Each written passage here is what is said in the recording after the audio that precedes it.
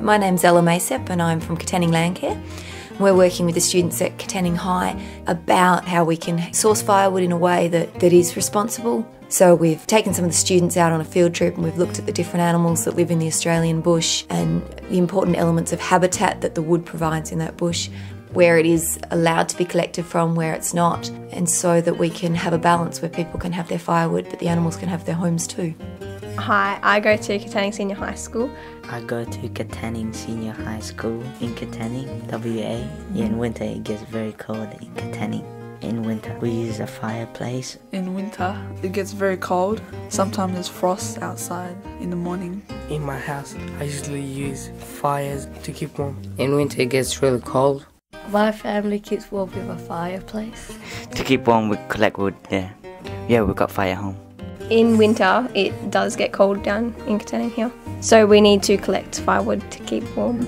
Because we burn wood, we've been learning how to collect wood responsibly. Yesterday, we learned about how to collect firewood responsibly. Yesterday we went to go out on a bus learning how to collect firewood properly. Yesterday, we took the school bus out. We got everyone around and hopped on the bus with Miss Mason. The first place we visited yesterday was where the Carnaby black cockatoo nested. We saw what the Carnaby fed on with this spiky Dryandra. The Carnaby black cockatoo migrate from the coast to Katanning and it is an endangered species. We need to stop cutting down hollow trees because that's what they nest in. Which took like about 100 years to form. It is very important because they keep coming back to that tree like each generation.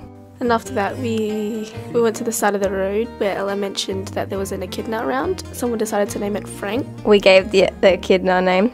It's called Frank. On the side of the road, you shouldn't take firewood because that's illegal. You get fined if you collect wood illegally up to two thousand to ten thousand dollars. You're not allowed to collect firewood from side roads. If you collect from the side of the road, you might get a fine. You could end up getting a fine of two thousand to ten thousand dollars. And the third place we went to yesterday was the bush behind the gravel pit, where other animals live. The pygmy possum, brush-tailed phascogale, red-tailed phascogale, chuditch, numbat. Sometimes there's termites in the hollows for numbats to eat. And we also saw a python.